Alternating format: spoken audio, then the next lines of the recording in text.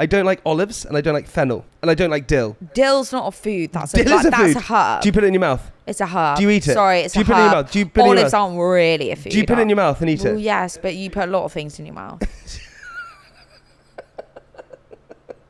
D- uh, dill's not counting. That's a What herb. What is that even supposed to mean? I don't know. Move on.